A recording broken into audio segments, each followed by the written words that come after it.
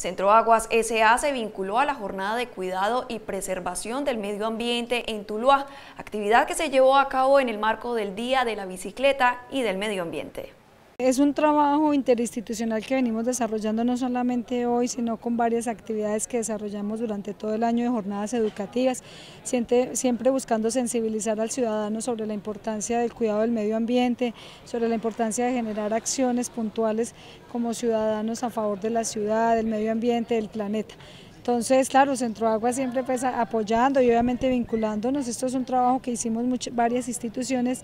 de, conmemorar esta fecha tan importante como es el Día Mundial del Medio Ambiente y le, agregamos lo de la bicicleta.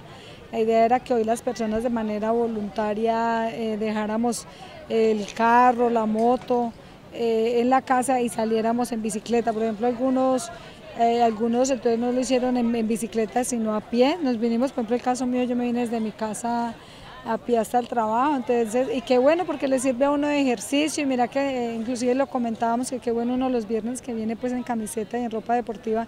venirse eh, a pie desde la casa o en la bicicleta, ayuda al planeta y obviamente vamos generando conciencia sobre la importancia que cada uno tenemos eh, en generar acciones encaminadas a,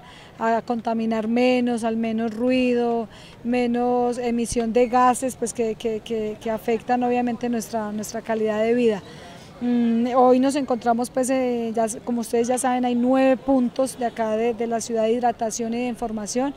eh, definitivamente estamos sensibilizando a todas las personas sobre la importancia de que utilicen medios de transporte alternos como la bicicleta, de caminar más. Eh, y, hoy pues estamos entregando también bolsas ecológicas para que la gente utilice menos la bolsa plástica. Estamos eh, con puntos de hidratación donde estamos estimulando a la gente que trae lo del tarrito, el termito, para utilizar menos vasos, menos icopor, menos cosas que, que nos están contaminando y que nos están generando pues impactos muy negativos sobre el medio ambiente.